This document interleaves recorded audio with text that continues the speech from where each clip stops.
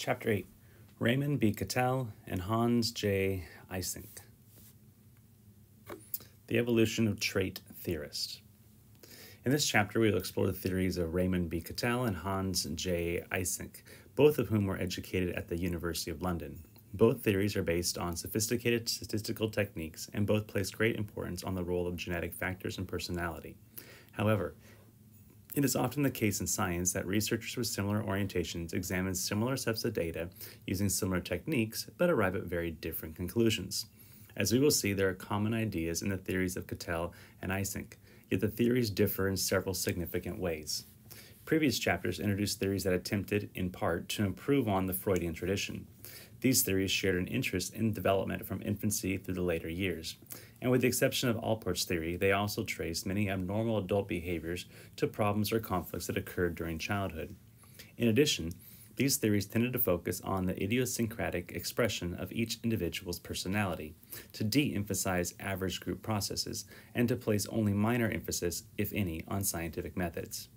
The theories of Cattell and Eysenck represent distinct departures from the theories discussed in preceding chapters. Both emphasize the scientific discovery and measurement of basic psychological traits possessed by all people. Both use scientific rather than clinical methodology, and although both devote considerable time attempting to understand psychopathology, they are primarily concerned with explaining the personality of normal adults. And, as noted above, both are more interested in the contributions of biological and genetic factors than in developmental events. Biographical sketches Raymond B. Cattell. Raymond B. Cattell was born in Staffordshire, England, on March 20, 1905. England entered World War I when Cattell was nine years old, and the war had a major effect on his life. Seeing hundreds of wounded soldiers treated in a nearby house that had been converted into a hospital taught him life could be short and one should accomplish as much as possible while one could. As we will see, this sense of urgency about work characterized Cattell throughout his academic life. At 16, Cattell entered the University of London where he majored in physics and chemistry. He graduated in 1924 at 19 with high honors. Throughout his undergraduate years, Cattell became increasingly concerned with social problems, and was aware that his background in the natural sciences had not prepared him to deal with those problems. These realizations prompted him to enter graduate school in psychology at the University of London, where he earned his PhD degree in 1929. In 1937, the University of London granted Cattell an honorary doctorate in science in recognition of his many accomplishments. While in graduate school, he worked with the famous psychologist statistician Charles E. Spearman, who invented the technique of factor analysis and applied it to the study of intelligence. As we shall see, Cattell used factor analysis extensively in his study of personality. After receiving his PhD, Cattell had great difficulty finding work doing what he had been trained to do, so he accepted a number of what he called fringe jobs. He was a lecturer at the University of Exeter in England, and he was the founder and director of a psychology clinic in the school system in the city of Leicester, England. In 1937, he was invited by the prominent American psychologist Edward L. Thorndike to come to America to become, to become his research associate at Columbia University. Cattell accepted Thorndike's invitation and remembered his first year in New York City as depressing because he missed England greatly. From 1938 to 1941, Cattell was the G. Stanley Hall Professor of Genetic Psychology at Clark University in Worcester, Massachusetts. In 1941, Gordon Allport invited Cattell to join the faculty at Harvard University, where in the stimulating environment provided by Allport, Henry Murray, and Robert White, Cattell expanded the application of factor analysis from the study of intelligence to the more diverse problems of personality theory. He remained at Harvard as a lecturer until 1944. In 1945, at the age of 40, Cattell was offered a position at the University of Illinois as research professor and director of the Laboratory of Personality and Group Analysis. Without teaching responsibilities, Cattell was finally able to pursue his ambition of determining the structure of personality scientifically. Cattell's profound output while he was at the University of Illinois was voluminous. Cattell pursued his goal until at least 11 p.m. every night and observed that his car was easy for him to find in the parking lot because it was the only one left. Throughout his 70 year career, Cattell published more than 450 professional articles and more than 40 books. In 1953, Cattell wrote an essay on the psychology of the researcher, which won the Winter Grin Prize given by the New York Academy of Sciences, and he held the Darwin Fellowship for Genetic Research. The scope of Cattell's research interest is evident when one considers he published articles in American, British, Australian, Japanese, Indian, and African journals. In 1997, the American Psycholo- Psychological Foundation awarded Cattell the prestigious Gold Medal Award for Life Achievement in Psychological Science. However, presentation of the award was postponed while a panel considered the controversial positions Cattell had taken on a number of social and political issues. Cattell requested that his name be withdrawn from consideration, and it was. Cattell died on February 2, 1998, at his home in Honolulu at the age of 92. Hans Jürgen Eysenck was born in Berlin on March 4, 1916. His father, Edward, was a celebrated actor and singer, and his mother, Ruth Werner Eysenck, acted in silent films using her stage name Helga Molander. His parents divorced when he was two years old, and his father initially wanted Eysenck to carry on the family tradition in the theater. His acting career was short lived, however. Eysenck recalled that at the tender age of five or six, he played a minor role in a film in which his mother starred, but he was not allowed to see his own performance in the adults only feature. In the film, he helped to reconcile his estranged parents, but that role was not played out in his real life. His father remarried and remained in Berlin, and his mother moved to Paris to avoid Nazi persecution after marrying Max Glass, a Jewish filmmaker. Eysenck's father was Catholic and his mother was Protestant, Lutheran. However, both were more deeply moved by the theater and theater life than by religion. Although young Eysenck believed that socialism could solve many of Germany's problems, he did not embrace Hitler's Nazi Party, nor was he interested in joining the Communist Party or various underground political movements. After being told that he could not attend college in Germany unless he joined the Nazi secret police, he left Germany permanently in the summer of 1934 to live in France with his mother and her husband. He studied literature and history for approximately one year at the University of Dijon and then moved to England, where he took college prerequisite courses at Pitman College and then enrolled at the University of London. Eysenck's early life experiences and his year in France convinced him that he did not want to pursue a career in the arts, and he went to London with the intention of studying physics. In his 1980 autobiograph- autobiographical essay, he recalled I had from the beginning of my conscious life been quite decided that art was for fun, for emotional experiences, for enjoyment, and that my life's work would lie in science. By that I meant physics and astronomy. I was told I could not study physics because I had taken the wrong subjects in my matric. I could not wait another year and retake the right subject, so I asked if there was any scientific subject I could take. Yes, I was told. There was always psychology. What on earth is that? I inquired in my ignorance. You'll like it, they said and so I enrolled in a subject whose scientific status was perhaps a little more questionable than my advisors realized. During 1949 and 1950, Eysenck traveled to the United States where he held a visiting professorship at the University of Pennsylvania. During that visit, Eysenck studied training programs in clinical psychology and the roles of clinical psychologists in general. Upon his return to England, he campaigned for a more scientific psychological training for clinical psychologists for more applications of scientific psychological principles in therapy, and for independence from psychiatrists. He became particularly dissatisfied with adherence to Freudian theory, both in psychiatry and clinical psychology, and began to develop a new approach in clinical training at Maudsley Hospital, a premier British psychiatric facility, an approach that focused on behavioral therapy, in 1952, he assessed the effectiveness of Freudian psychotherapy and published evidence that patients experiencing psychoanalytic therapy improved no more than patients who had received no therapy at all. He remained a severe critic of Freudian analysis as well as projective testing methods throughout his life.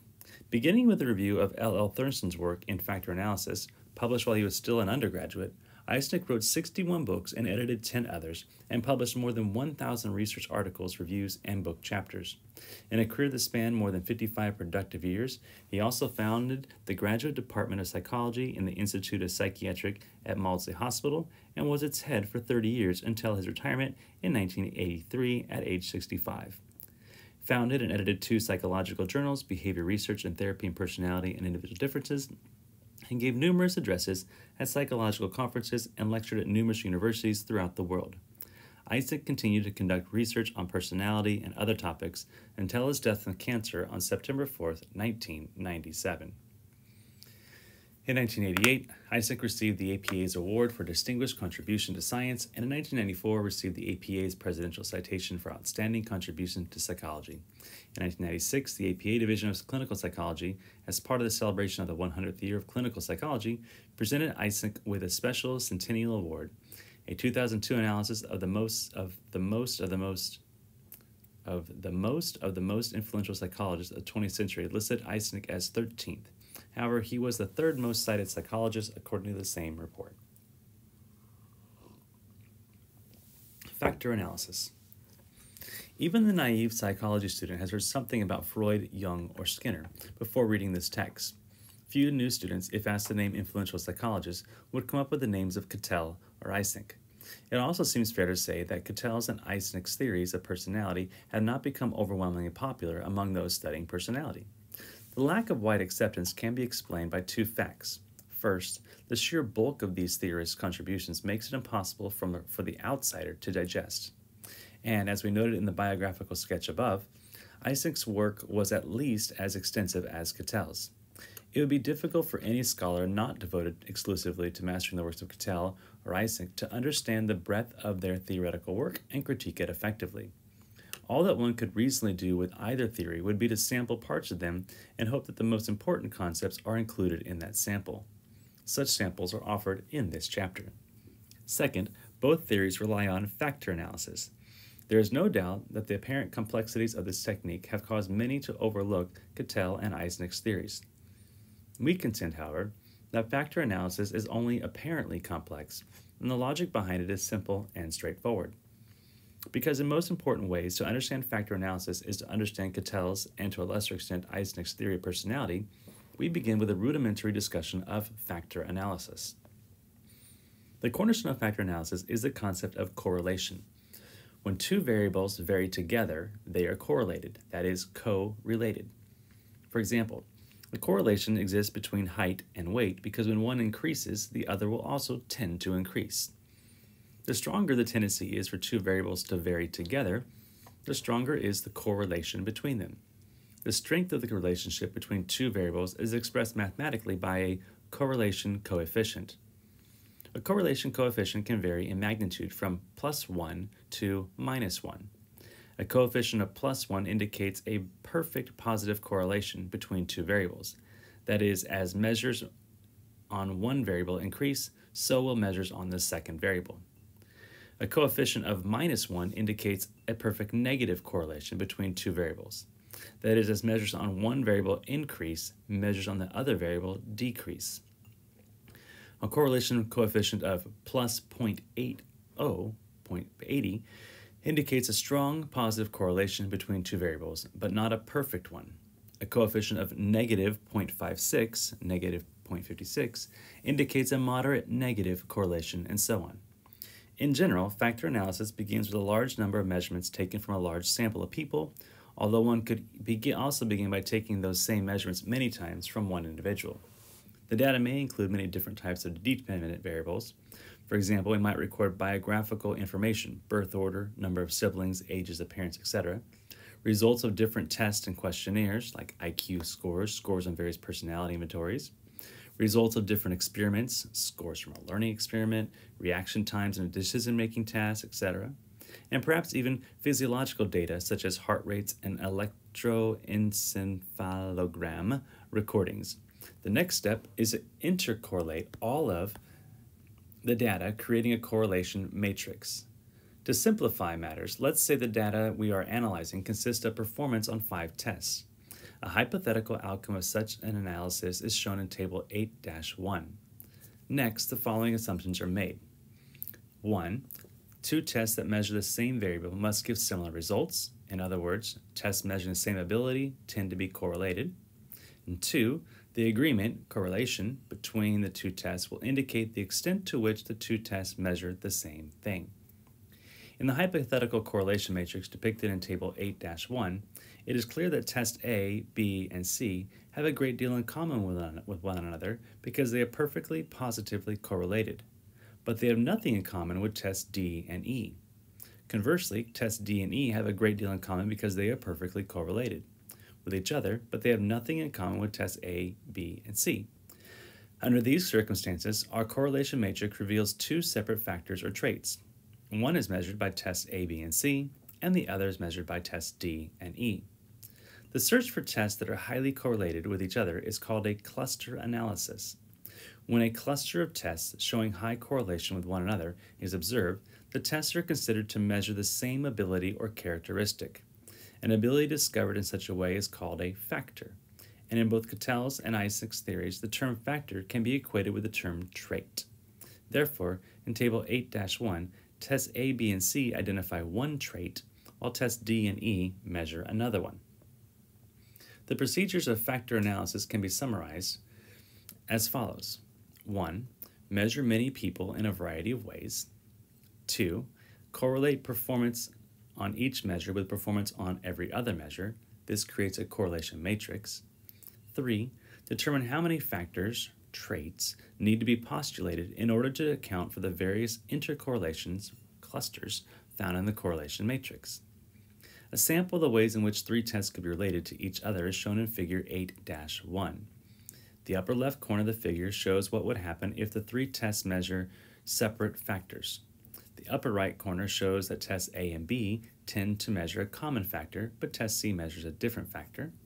The lower left corner of the figure indicates that all three tests measure a common factor. And the lower right corner of the figure shows that test A measures one factor, but test B and C measures another factor. Factor analysis, then, is a technique based on the methods of correlation that attempts to account for interrelationships found among numerous measures. The technique is certainly not confined to the study of personality. As mentioned earlier, Cattell's mentor, Charles Spearman, used factor analysis to study intelligence, and Cattell, in addition to using it to study personality, used factor analysis to study the characteristics of groups, institutions, and even nations.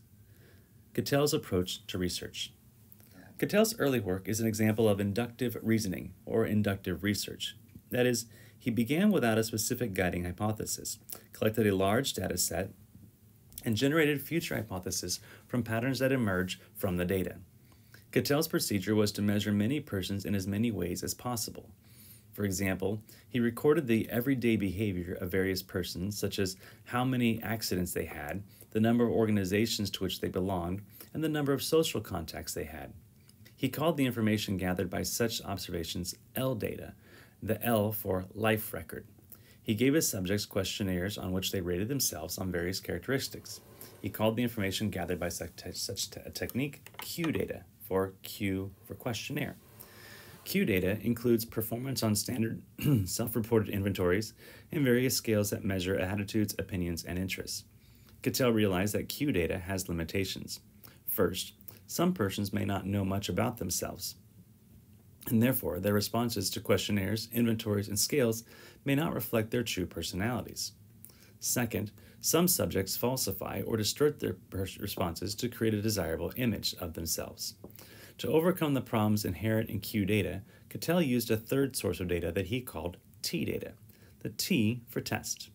T data is gathered in situations in which examinees cannot know what aspect of their behavior is being evaluated. Examples include performance on word association tests, the Rorschach ink blot test, or the thematic apperception test. Cattell referred to such tests as objective because he believed they are resistant to faking. Cattell and Warburton listed more than 400 tests that appear to meet this criterion. Cattell used factor analysis to search for clusters of measurements that occur in stable patterns across a number of situations over long periods of time. He then attempted to determine the extent to which these factors are, in fact, fundamental personality traits. As we will see in Figure 8 2, Cattell claimed to have identified 16 fundamental traits found in normal personality. Eysenck's approach to research.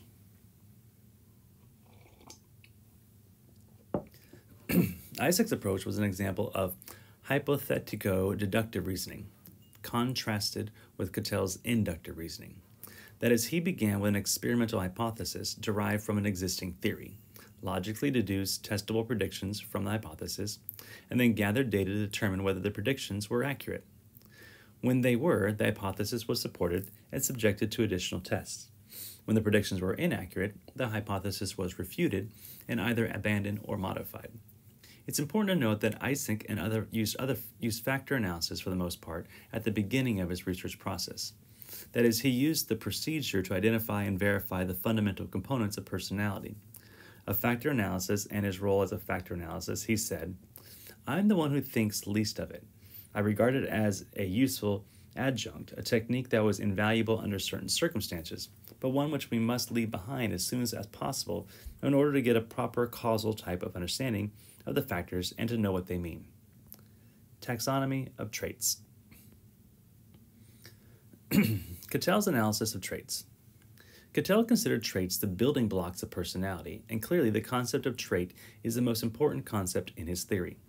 Most of his factor analytic research was a search for personality traits, and that search uncovered several categories of traits which we review next surface traits and source traits.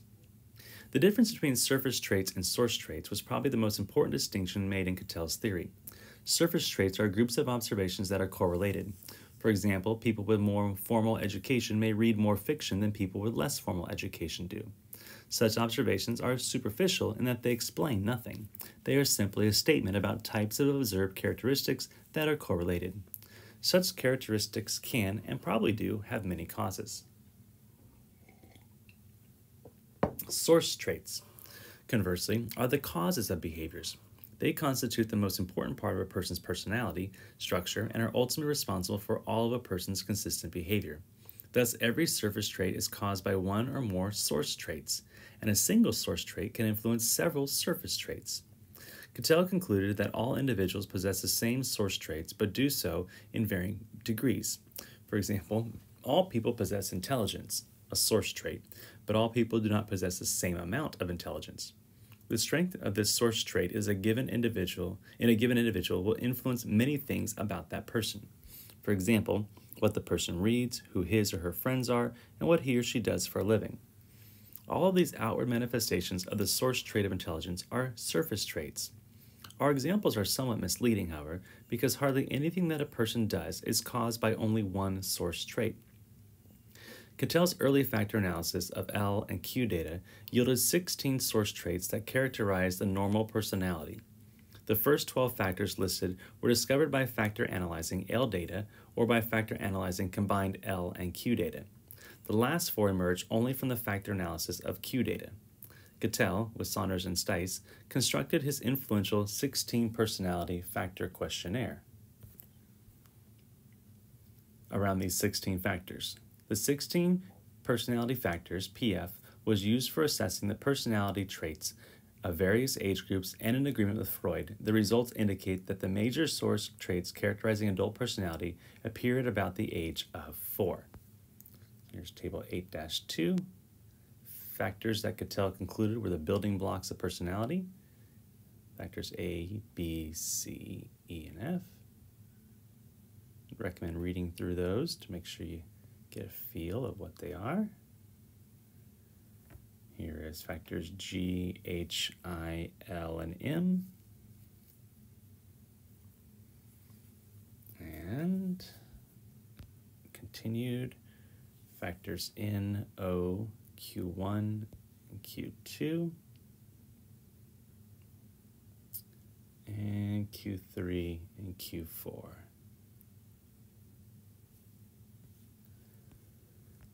Constitutional and environmental mold traits. Some source traits are genetically determined and are called constitutional source traits. Others result from experience and are called environmental mold traits. If source traits found by found by if source traits found by factorizing are pure, independent influences, as present evidence suggests, a source trait could not be due both to heredity and environment, but must spring from one or the other.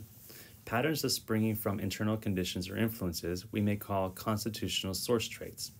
On the other hand, a pattern might be imprinted on the personality by something external to it. Such source traits appearing as factors we may call environmental mold traits because they spring from the molding effect of social institutions and physical realities which constitute the cultural pattern. Ability traits. Some source traits determine how effectively a person works toward a desired goal. Such traits are ability traits. One of the most important ability traits is intelligence. Cattell distinguished between two types of intelligence crystallized and fluid. He defined fluid intelligence as an innate form of intelligence that is adaptable to different situations, similar to that of problem solving and independent of any previous experience. Cattell defined crystallized intelligence as the type of intelligence acquired through schooling, or what we know as knowledge. Cattell, Cattell believed that too often a person's intelligence is, is equated with crystallized intelligence, which most traditional IQ tests attempt to measure. To help remedy the situation, Cattell developed the culture free intelligence test designed to measure fluid intelligence. Cattell's research led him to conclude that both fluid intelligence and crystallized intelligence are strongly influenced by heredity, and he concluded that fluid intelligence is 65% inherited and crystallized intelligence is 60% inherited. According to Cattell, then, both one's general intelligence, fluid intelligence, and one's ability to benefit from experience, crystallized intelligence, are largely inherited. There's an ongoing debate in psychology concerning the relative contributions of genetics and experience to one's level of intelligence, a variation of the nature nurture problem. Cattell's belief that intelligence is largely innate, that is, genetically determined, and the implications of that belief are among the issues that make Cattell a controversial figure. Temperament traits. Temperament traits are genetically determined characteristics that determine the speed, energy, and emotion with which a person responds to a situation. They determine how mild mannered, irritable, or persistent a person is. Temperament traits, therefore, are constitutional source traits that determine a person's emotionality. Of the source traits measured by the 16 PF, 15 are temperament traits, and one, intelligence, is an ability trait. Dynamic traits. Temperament traits determine a person's style of behaving. They determine how a person typically responds to situations. Ability traits determine a person's effectiveness in solving problems. They determine how well a person typically responds to situations. Dynamic traits determine why a person responds to situations. Dynamic traits set the person in motion towards some goal. They are the motivational elements of personality. Cattell elaborated two different dynamic or motivational traits, ergs and meta-ergs. An erg is a dynamic constitutional source trait. An erg is similar to what other theorists have called drives, needs, or instincts. Cattell chose the term erg from the Greek ergon, meaning energy, because he thought the other motivational terms were too ambiguous. The ergs provide the energy for all behavior and can vary in intensity. One can be hungry, sexually aroused, curious, or angry in varying degrees. The level at which an erg exists determines the amount of erg, erg, ergic tension present. It's interesting to note that in claiming all human behavior is ultimately instinctual, Cattell essentially agreed with Freud. Cattell's list of instincts, ergs, however, was far more extensive than Freud's. Cattell's research has revealed 11 ergs, which are listed on the right side of Figure 8 4. A meta erg is a dynamic source trait with an environmental origin. In other words, a meta erg is an environmental mold dynamic source trait. Thus, a meta erg is the same as an erg except for its origin. Both ergs and meta-ergs cause motivational predispositions towards certain environmental objects. However, ergs are innate whereas meta-ergs are learned. Meta-ergs are divided into sentiments and attitudes. According to Cattell, sentiments are major acquired dynamic trait structures which cause their processors to pay attention to certain objects or classes of objects and to feel and react in a certain way with regard to them. Cattell believes sentiments are usually centered on such things as one's career or profession, sports, religion, one's parents, one's spouse or sweetheart, or oneself. The most powerful sentiment of all, according to Cattell, is the self sentiment, which organizes the entire personality. A sentiment is an acquired predisposition to respond to a class of objects or events in a certain way.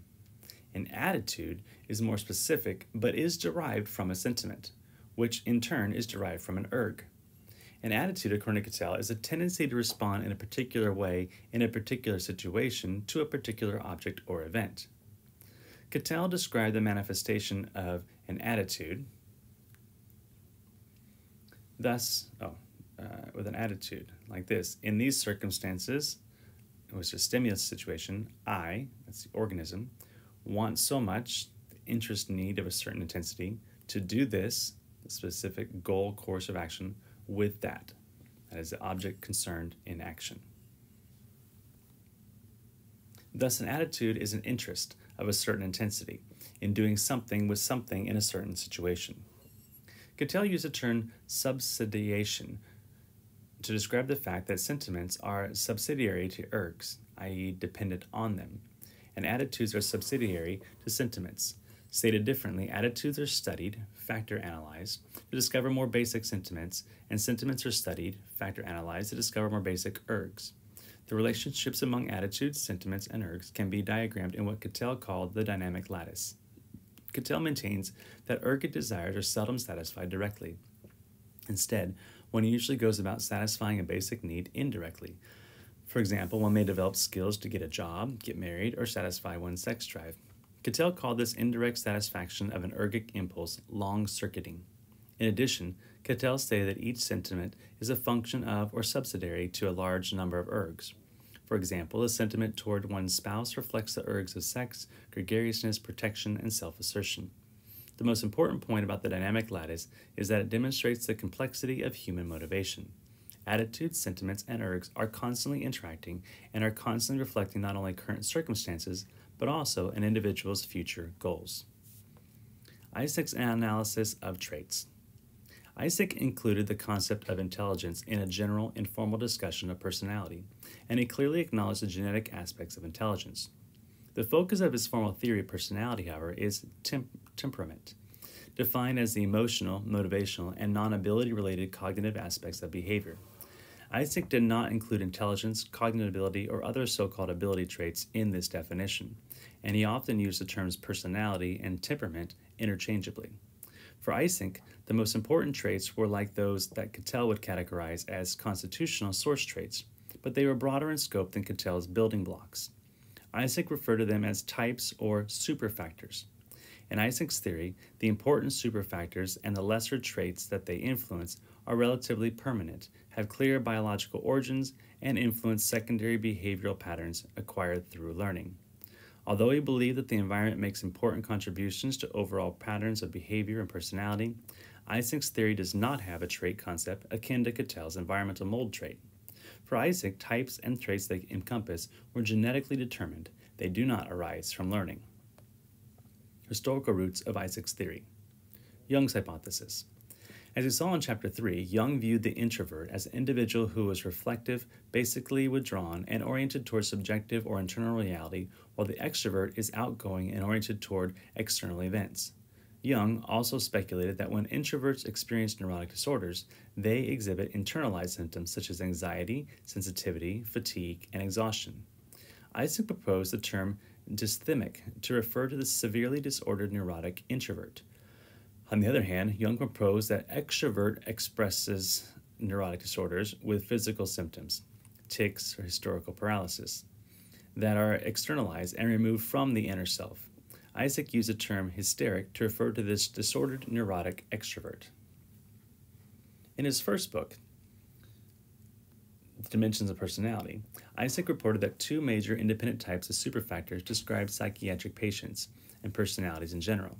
These were neuro, neuroticism, neuroticism versus stability, N, and extroversion versus introversion, E. These superfactors appear to separate highly neurotic soldiers into two groups. Indeed, the most severe cases seem to be individuals who express either the introverted pattern of anxiety related symptoms, dysthymia, or the extroverted pattern of hysteric disorders, hysteria, thus confirming the hypothesis suggested by Jung. In the hierarchical structures shown in Figure 8 4, each higher order type of superfactor includes a number of correlated traits. Thus, an individual who is highly neurotic expresses this general factor through the traits of anxiety, depression, feelings of guilt, low self esteem, and so on. Similarly, the figure shows the individuals who is highly extroverted tends to be sociable, lively, assertive, and sensation seeking, to name only a few. After identifying the first two general types, Eysenck constructed the Maudsley Medical Questionnaire, which could be administered to hospitalized neurotic soldiers as well as to healthy individuals who are neither hospitalized nor complaining of psychological problems. Questionnaires developed later included the Eysenck Personality Inventory, the Eysenck Personality Questionnaire, and the revised Eysenck Personality Questionnaire. In his second book, The Scientific Study of Personality, Eysenck paid considerable attention to differences between hospitalized patients and healthy people. He concluded that a third superfactor, psychoticism, must be added to N and E to provide a complete description of personality. It should be noted the final type P was included primarily to aid in making distinctions between those soldiers with neurotic disorders and those who would be diagnosed with psychotic disorders.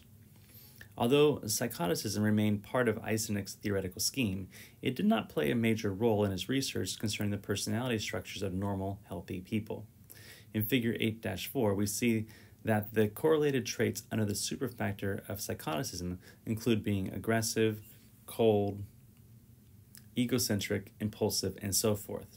Despite the order in which these the three superfactors were identified, Eysenck and others often use the acronym PEN, psychoticism, extroversion, neuroticism, to refer to the superfactor theory. Additional historical influences. Although their approaches were not scientific by contemporary standards, Eysenck gave credit to Hippocrates and the Greek physician Galen for their influence on his thinking about personality. Hippocrates believed that humans consisted of four elements earth, air, fire, and water. Furthermore, he associated each element with a humor earth with black bile, air with yellow bile, fire with blood, water with phlegm.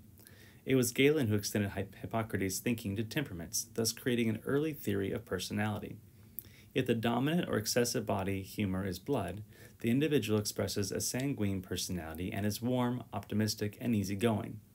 If black bile dominates, it produces a melancholic personality and the individual is depressed and anxious. An excess of yellow bile produces a choleric, choleric personality, which is expressed as by excitability, anger, and assertiveness.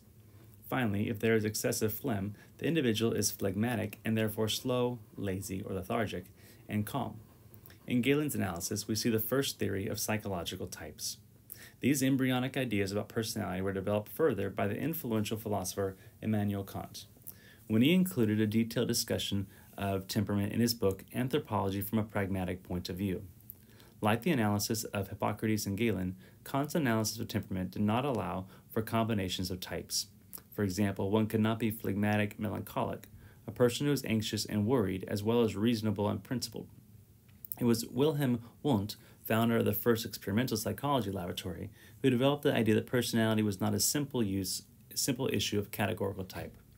Wundt pointed out that the categories were described by Kant were matters of degree, depending on one's position along the dimensions of emotional strength and emotional changeability.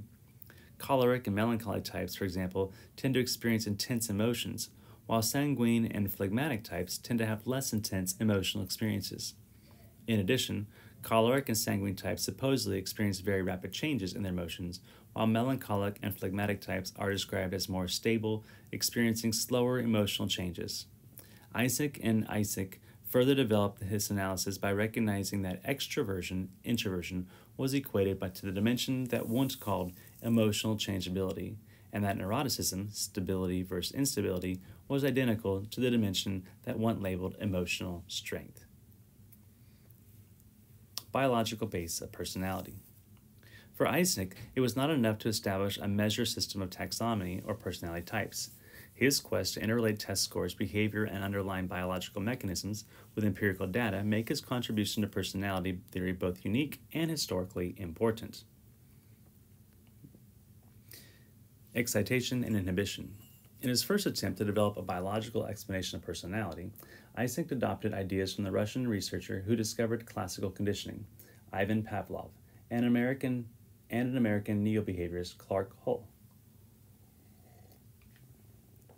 Eysenck borrowed from Pavlov's work and suggests that individuals who are slow to arouse and have low excitatory potentials are more likely to be extroverted, while individuals who are more easily aroused and overwhelmed by stimuli are more likely to display more introverted behavior. Hull used the concept of reactive inhibition to explain phenomena like experimental extinction, in which we observe decreased performance of a response. Basically, reactive inhibition is caused by fatigue, either muscle or neural, and acts to inhibit responding. Regarding the role of inhibition in personality, Eysenck wrote in his typological postulate. Similarly, individuals in whom reactive inhibition is developed quickly, in whom strong reactive inhibitions are gener- generated, and in whom reactive inhibition is dissipated slowly, are thereby predisposed to develop extroverted patterns of behavior. Conversely, individuals in whom reactive inhibition is developed slowly, in whom weak reactive inhibitions are generated, and in whom reactive inhibition is dissipated quickly, are thereby predisposed to develop introverted patterns of behavior. Cortical and emotional arousal.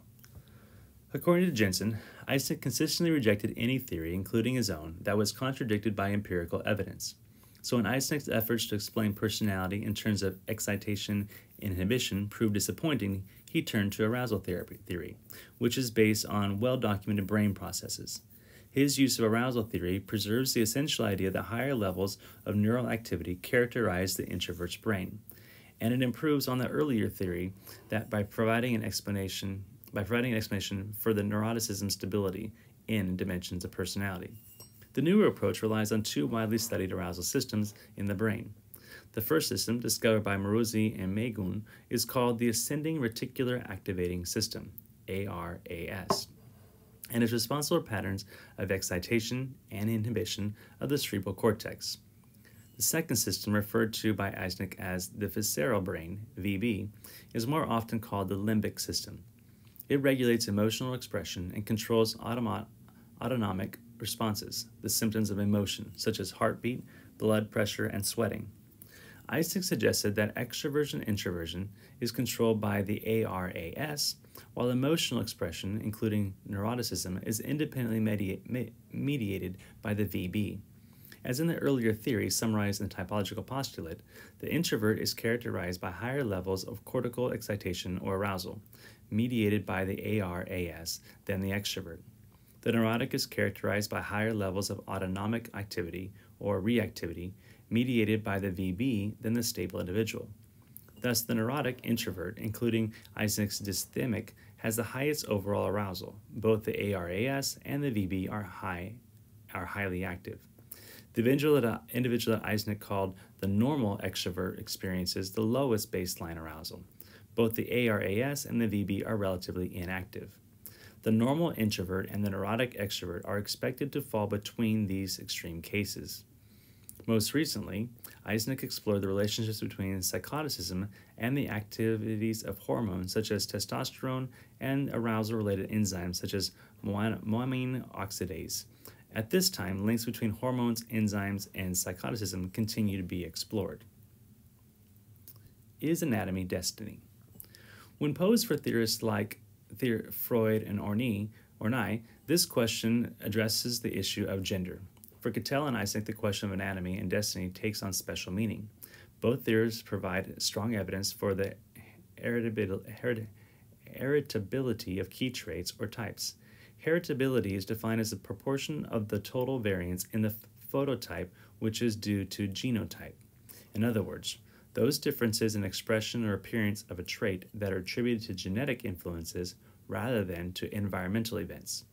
Thus, to the extent that genetic and biological factors are critical determinants of personality, the answer to the question, although not necessarily uh, concerned with gender, must be yes. Cattell, heredity versus environment. No other personality theorist did more than Cattell to determine the relative condition, contributions of heredity and environment to the development of each personality trait. To examine these contributions, Cattell created a complicated statistical procedure called Multiple Abstract Variance Analysis, MAVA. Measurements are taken of identical twins raised together, identical twins raised apart, fraternal twins raised together, fraternal twins raised apart, siblings raised together, and siblings raised apart, unrelated persons raised together, and unrelated persons raised apart. The number of genes in common is highest for identical twins, then fraternal twins and siblings, and is lowest for unrelated persons. The logic of such research is straightforward. If a trait is genetically determined, the degree to which two persons possess it should be correlated with the degree to which they share the same genes. For example, if a trait is completely genetically determined, then identical twins should possess that trait whether they are raised together or apart. On the basis of the type of research just described, Cattell concluded that heredity plays a significant role in the development of at least some traits he confirmed his earlier observations that fluid intelligence is about 65% genetically determined. Also, the tendency to have a zestful, active disposition versus a reflective, circumspective one was found to be about 70% genetically determined. Cattell, Schuerger, and Klein studied the hereditability of three source traits er, ego strength, factor C, super ego strength, factor G, and self sentiment, factor Q3. In this particular study, a 10 hour battery of tests was administered to 94 identical twins reared together, 124 fraternal twins reared together, 470 brothers reared together, 2,973 unrelated children reared apart. Using the MAVA procedure, the authors found that superego strength, factor G, is largely a function of environmental influences rather than heredity. However, ego strength, factor C, and self sentiment, factor Q3, were strongly influenced by heredity.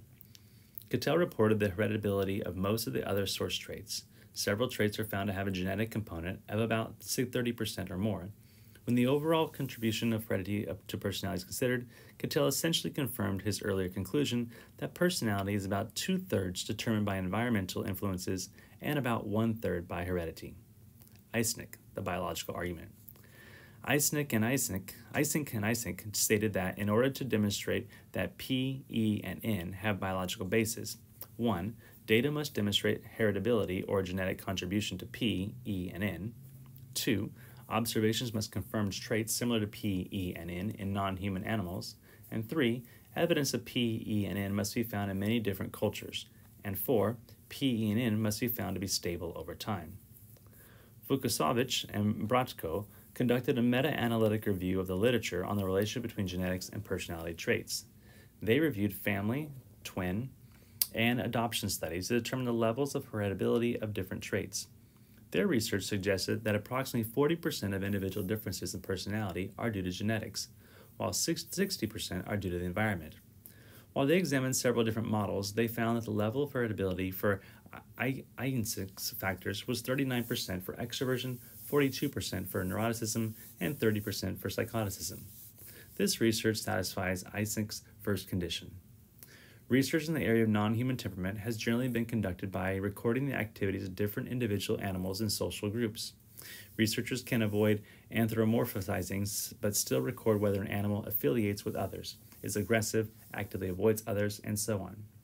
Using this method, with rhesus monkeys, Chamove, Eysenck, and Harlow factor and analyzed their data and found three independent behavior clusters that correspond roughly to P, E, and N. Chimpanzees also exhibit behaviors that are best described by three independent dimensions, like those proposed by Eysenck. Recent research using the five factor model has found similarities in extroversion and neuroticism among orangutans and chimpanzees, providing further evidence that these personality traits are found in non human species. This research addresses Eysenck's second requirement. Confirming Eysenck's third provision through conducting cross cultural personality assessments has some challenges. However, many attempts to gather trait and type data across cultures have confirmed widespread existence of P, E, and N. Again, summarizing large database, Eysenck and Eysenck wrote, not wishing to paint the lily, we will refrain from commenting at too great length on the results, except to say that they are strongly in support of the view that essentially the same dimensions of personality emerge from factor analytic studies of identical questionnaires in a large number of different countries, embracing not only European cultural groups but also many quite different types of nations. And finally, many studies have demonstrated that Eysenck's superfactors, particularly E and N, are quite stable. They have been shown to be consistent over 12 year periods, 15 to 20 year periods, and even more for 30 years. Some newer research suggests, however, that while personality may be stable at the population level, there is significant individual variability among extroversion and neuroticism. Conflicting research makes Eysenck's final condition more challenging to satisfy. Newer medical technology has allowed for a different way to validate Eysenck's idea that there is a biological base for personality traits. Puig Perez and colleagues examined the other examined whether older adults with certain PEN traits released, released more cortisol in the morning. They found that women high in neuroticism did release more cortisol in the morning, but there was no significant impact on this trait in males. There was also no difference in the amount of cortisol released during depending on the high level on the level of extroversion. But this contradiction previous results contradicted previous results, which used the big five. Hill, Billington, and Krylov, for example, did find a relationship between an between AM cortisol release, and extroversion as measured by the Big Five inventory. Based on both current and prior research, the criteria that Eysenck identified as necessary in order to claim that a trait has a biological basis are satisfied. Most researchers working with the trait approach currently adopt accept this conclusion to some degree, although the exact nature of the biological mechanisms underlying personality traits remains to be determined. Psychopathology. Cattell suggested two reasons for psychopathology. One is the abnormal imbalance of the normal personality traits measured by the 16PF. For instance, an excessive amount of factor A, affectia versus sizia, could result in a manic depressive disorder. The second reason for psychopathology is the possession of abnormal traits that are not found among normal individuals. Cattell and his colleagues isolated 12 abnormal traits that can be described to describe various types of neurosis and psychosis. Cattell devised the clinical analysis questionnaire to assess these abnormal traits. The 12 abnormal traits Cattell discovered are listed in Table 8 3. In Table 8 3, the first seven abnormal traits, symbolized by the letter D, are depressive traits. The last five traits are considered relatively more powerful and more serious. Cattell then saw some individuals with serious psychopathology as quantitatively different from normal individuals, while others are seen as qualitatively different. That is, they possess qualities, abnormal traits, not found in people who are not suffering from psychological disorders. Eysenck, on the other hand, saw the differences between normal individuals and those with psychopathologies only as quantitative. In other words, their personalities are described in terms of the same types, P, E, and N, as normals, but they have abnormally high scores on one or more superfactors, particularly on P and or N. It should be noted, however, that high scores on P or N do not necessarily guarantee psychopathology. As we saw above, traits require interaction with specific situations in order to attain full expression.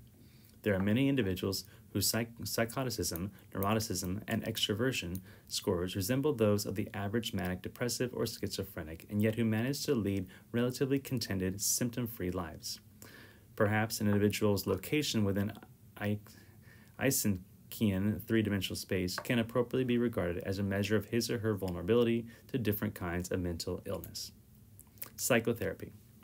Ideally, for Cattell, psychotherapy is preceded by a precise personality factor assessment. Such a profile does not not only defies exactly what the problem is, but also aids the clinician in determining the most effective treatment procedure. As far as therapeutic treatment is concerned, Cattell was an eclectic. He thought the type of disorder revealed by testing should determine the appro- approach to treatment. Drugs or electric shock may best treat severe psychosis. Dream analysis may best treat certain neurosis, and behavior therapy, discussed in the next chapter, may best treat relatively minor problems. Eysenck also suggested that accurate personality test le- leads to correct diagnosis and results in appropriate and more effective treatment. While Cattell was eclectic in his approach to therapy, Eysenck, a longtime critic of psychoanalysis and proponent of behavior therapy, was far less accepting of therapies lacking empirical support. For Eysenck, therapy must be based on demonstrated psychological principles such as those derived from classical or operant conditioning.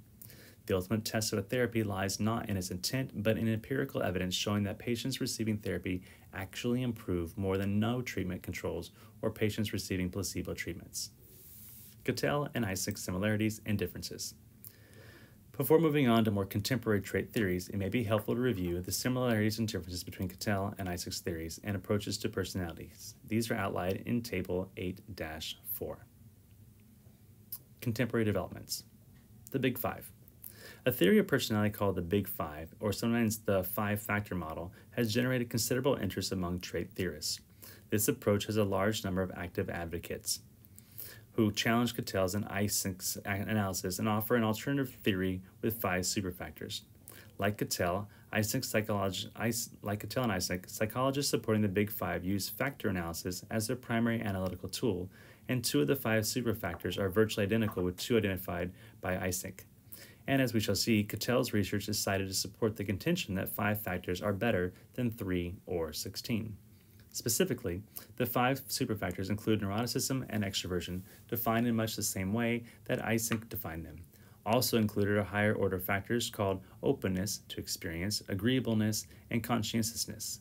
Students may want to use the acronym OCEAN to remember the five factors. Definitions of these factors are found on Table 8 5. Although research on the Big Five has become popular in the past few decades, the history of this approach can be traced back over 100 years to the work of Sir Francis Galton, and its history is grounded in the lexical hypothesis. The basic premise of the lexical hypothesis is that all we need to know about personality is contained in natural language.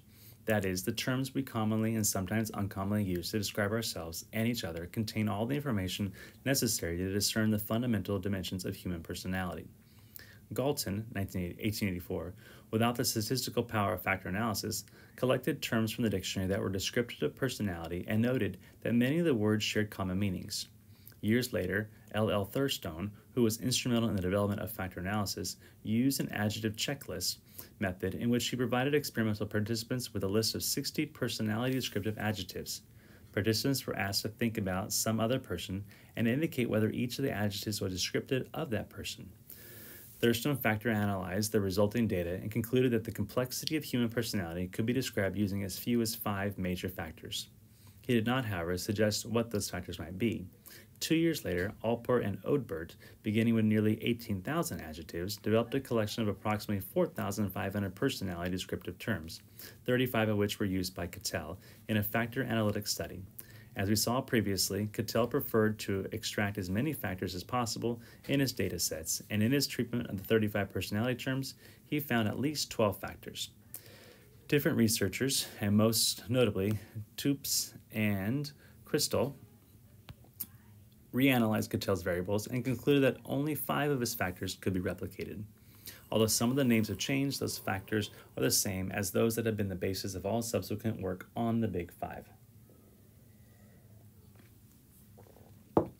The researchers most often associated with the Big Five, Paul T. Costa, Robert R. McCrae, entered the trait debate with a three factor theory derived from a personality questionnaire rather than from an adjective checklist.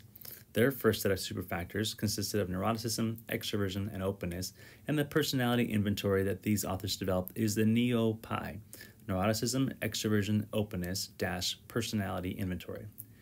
After attending two symposia led by Digman and Goldberg, two researchers from the lexical school described above, Costa and McCrae, were convinced that the two additional factors of agreeableness and conscientiousness should be added to their model. They further refined their personality questionnaire, and later researchers developed six facets, lower order traits, for each of the five superfactors in the Big Five. Recently, another factor model, the Hexaco, has emerged with, emerged with an additional honesty humility factor. This new six factor model has been found to demonstrate good cross cultural reliability. Much of the current personality research is done using one of the aforementioned models Type D personality. Recall that according to Eysenck, the neurotic introvert has the most aroused nervous system. Denollet was the first to suggest that this particular combination of traits predisposed individuals for negative health outcomes, and he labeled this combination the type D distress personality. Early Speculation was that veterans with type D personality would more likely be more likely to develop post-traumatic stress disorder. However, the research that suggests a link between type D personality and PTSD is inconclusive. Other aspects of, of health are clearly impl- implicated, however. In a sample of Dutch workers, those with type D personality tended to express higher levels of exhaustion, report more depressive symptoms, take more sick days, and experience more job burnout than non type D workers. Type D individuals engage more often in maladaptive health behaviors such as smoking, using alcohol, eating poor diets, uh, eating poor diets, and avoiding physical exercise. Further, type D patients with heart disease are at increased risk of death compared with non type D patients. The growing research literature on type D personality demonstrates how certain traits in combination can have effects beyond the domains commonly addressed by personality theory had the Big Five displaced Cattell and Eysenck. McCrae suggests that theories such as Freud's, Horney's, and Erikson's, even Cattell's and Eysenck's, are so outdated that they should not be taught in, person, in a personality course, and that the Big Five has finally brought scientific clarity to the field of personality psychology. There is no doubt that the Big Five has generated extensive research. For example, patients high in agreeableness cope better after a diagnosis of diabetes and attain higher levels of life satisfaction after disabling accidents. On the other hand, individuals with low agreeableness and openness are more likely to join the military and become even less agreeable after military training. Extroverts seem to be predisposed to experience positive emotions. Extroverted individuals are also more able to relax and most likely better able to cope with stress. Not surprisingly, when people have high extroversion combined with high agreeableness, they tend to have more children. Researchers using brain imaging techniques have even proposed that each of the big five factors has its own brain area mediating expression of that factor, although other researchers recommend caution in interpreting such imaging studies. Not all research is supportive, however. While researchers find evidence for the Big Five in developing countries among literate research participants, the five personality dimensions do not appear in all cultures. In contrast to previously discussed longitudinal studies of EN and EN, some research finds that the Big Five personality traits vary in early and later life, suggesting a U shaped pattern of change, and that certain life transitions may also change these traits. Despite the popularity of the Big Five approach, Cattell and Eysenck refused to adopt it. Eysenck contended that agreeableness and conscientiousness are primary traits, traits rather than superfactors, and conclude that advocates of the Big Five confuse superfactors, neuroticism and extroversion, with primary traits, agreeableness and conscientiousness, in order to inflate the number of superfactors in their theory. Draycott and Kline analyzed both Costa and McCrae's NEO-PI and the Eysenck Personality Questionnaire revised and agreed with Eysenck's claim that the Big Five mixes lower order with higher order factors. In addition, Eysenck reported that several studies show openness to be related to intelligence and that according to Eysenck is a cognitive ability factor, not a temperament factor. Indeed, a study of 844 individuals, including monozygotic and dizygotic twins, found the strongest genetic links to openness, as would be expected if researchers were investigating genetic links to intelligence. Longitudinal research of following children from the United Kingdom also found that intelligence in childhood was the best predictor to, of the openness to experience trait uh, in adults, further confirming that cognition and openness are closely related. A direct attack on the Big Five comes from Block, who retraces the history of the Big Five and suggests that the emergence of five factors is more a matter of research planning than it is a matter of empirical discovery. He suggests that the advocates of the Big Five have invested their research interest in validating the five factors rather than testing the theory. Even Costa and McCrae indicate that beyond identification of openness, agreeableness, and conscientiousness, the Big Five add little to the support to the current body of data about personality. They note that the theory contains few surprises. The basic ideas are familiar from many personality theories. Furthermore, other critics have agreed with Cattell and Eysenck's criticism for this model, suggesting that it is incomplete. In fact, research indicates that these five traits account for only 60% variance in the entire personality's trait spectrum. Thus, while the Big Five model enjoys a degree of popularity, it does not replace Eysenck's, PEN, or Cattell's 16PF. Evaluation Cattell and Eysenck's theories are unique among theories presented so far in this text because of their substantial empirical support. Numerous studies have been discussed throughout this chapter, and a few more discussed below. Cattell, empirical research. The 16PF is still wide use today. Mansfield Green, Morrisall, Valiant, Caswell recently used the 16PF to determine which personality characteristics were related to college students' attitudes toward older adults. They found that warmth, emotional stability, and rule consciousness were closely related to positive attitudes toward older adults. In 2016, Noel Trocchia Luckett used the 16PF to examine personality differences among different college majors. They found that accounting majors scored significantly different on all of Cattell's factors when compared to both psychology and marketing majors. They discovered that Cattell's factor B, which assesses concrete versus creative thinking, was the most related to a choice of major predictive science and determinism. Like Eysenck and Cattell believed a theory of personality is of little value unless it can predict behavior. Cattell believed behavior is a function of finite number of variables, and if those variables are completely known, human behavior can be predicted with complete accuracy. Such a belief characterizes determinism. Cattell and other determinists realized that all of the variables influence behavior can never be known, so the prediction of behavior will always be problematic, probabilistic. What then is personality Cattell? It is that which allows the accurate prediction of a person's behavior. Personality is that which permits a, a, prediction of what a person will do in a given situation. The goal of psychological research in personality is thus to establish laws about what different people will do in all kinds of social and general environmental issues. Personality is concerned with all behavior of the individual, both overt and under the skin. Eysenck empirical research. Experimental and correlation studies spanning more than 50 years have provided an impressive database to support Eysenck's claims concerning E and to a lesser extent N and P. These studies range from relatively straightforward confirmations concerning the behaviors of basic personality types to very complex attempts to reveal the brain functions assumed by the ARAS VB arousal model. Social behavior. Both male and female extroverts are more likely to have sexual intercourse at younger ages than introverts. They are more likely to have multiple sexual partners and they are more likely to engage in different types of sexual activities. Individuals scoring lower in neuroticism, as measured by the EPQ, were also found to have high, higher marital satisfaction. Currently, Eysenck's traits are getting a significant amount of attention in criminal and forensic psychology. In his early work, Eysenck reported that individuals with a high E, high N, and high P scores are more likely to engage in criminal activity, and this seems to have garnered more support through research. Busick, Hyland, and Bork, for example, found that psychoticism, as measured by the EPQR, was a significant predictor of homicidal behavior.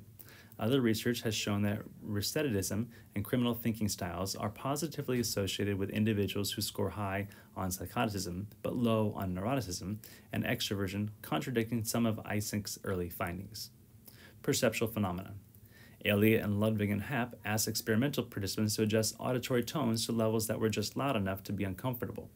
In both experiments, extroverts adjusted tones to levels that were louder than those selected by introverts.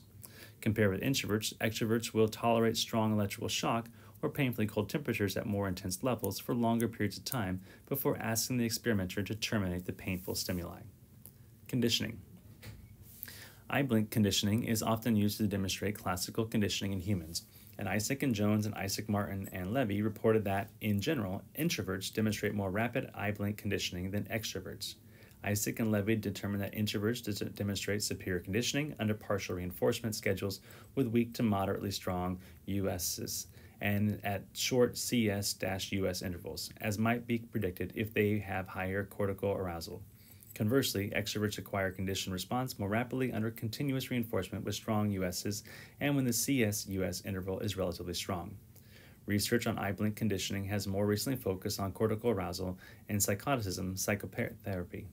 Often, more neurological, neurobiological findings, sorry, other more neurobiological findings support Eysenck's theory of uh, cortical arousal, although not much more has been done with conditioning.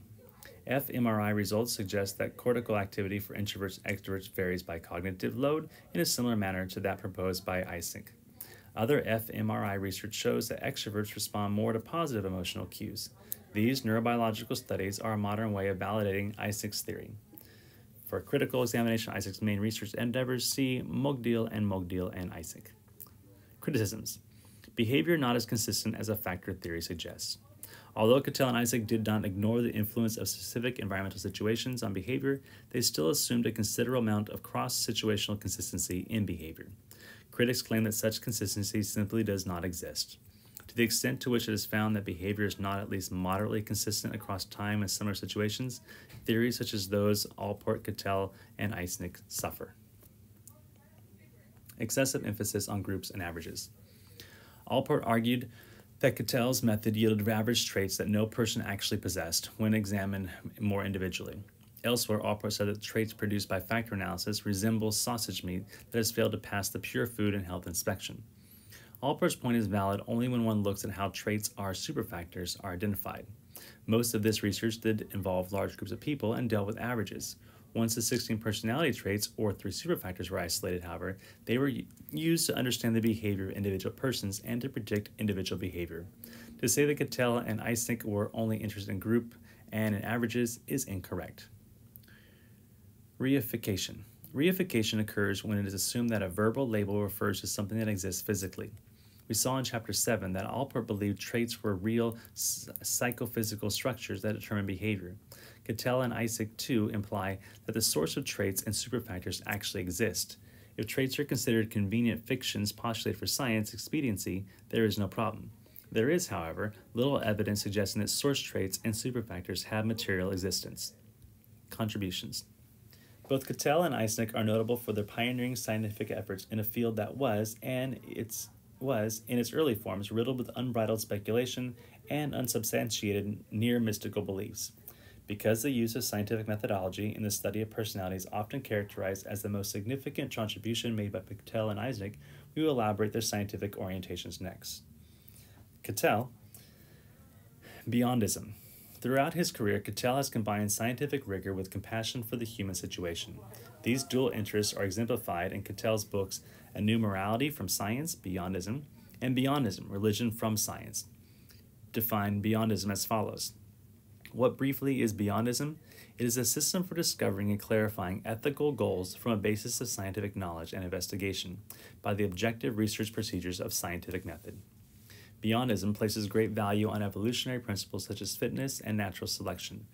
Traditional moral systems were, were based on revealed knowledge and were taken on faith. By contrast, the religion of Beyondism will be based on scientific facts, the effectiveness of which can be objectively evaluated. With good fortune, we shall before long see the revealed religions fading out of the more advanced countries. Out of the superstition ridden night of the past 2,000 years will gradually dawn the light of science based evolutionary religion. It is to this new structuring of life that the present believers in Beyondism must apply themselves. Needless to say, Cattell's proposal to replace traditional religions, religious foundation of morality with scientific objectivity was another reason he was surrounded by controversy. Eysenck, Farewell to, farewell to mythical psychology. As an advocate of the hypothetic deductive method in scientific research, Eysenck attempted to develop a testable psycho- psychological theory in the natural science tradition. He challenged other psychologists to subject their own theories to the same scrutiny, and he rejected many theories, including many of those covered in this text, because of their scientific shortcomings. As an example, I would class among the inadmissible theories those of Freud, Adler, Jung, Binswanger, Horney, Sullivan, Fromm, Erikson, and Maslow. They fail, fail essentially because, for the most part, they do not generate testable deductions, because where they do so, the deductors have most frequently been falsified, and because they fail to include particularly all the experimental and empirical studies which have been done over the last 50 years. Why then are these theories popular? According to Eysenck, their popularity is largely explained by the common tendency of not letting the difficult and often relatively uninteresting scientific truth stand in the way of an unscientific good story. Most, the most people, of course, whatever they may say, do not in fact want a scientific account of human nature and personality at all.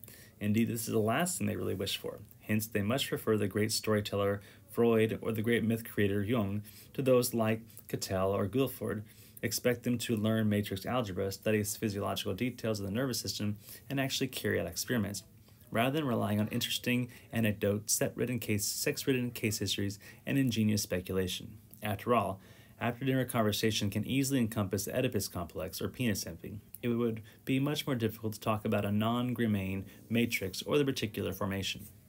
According to Farley, Eysenck's efforts to import the rigor of hard science into the soft area personality were truly remarkable. His identification and measurement of the most basic, pervasive, and reliable dimensions of personality stand as one of psychology's greatest achievements. Applied value, personality tests derived by Cattell and Eysenck have been used for clinical diagnosis, personnel selection, vocational counseling, marital counseling, and to predict accident proneness, the possibility of heart attacks in men, rates of recovery from cancer, and scholastic performance. Versions of Cattell's evaluative devices, for example, have been translated into more than a dozen languages, and in each language they are used extensively for both research and practical applications. Here, listed on this page, is the summary. You can start to read some of that there. I'm not going to read that out loud. I'm done. Page one. And here comes the last page of the summary, page two. And you can pause that and read through that. Here are your vocabulary words, a glossary. And glossary.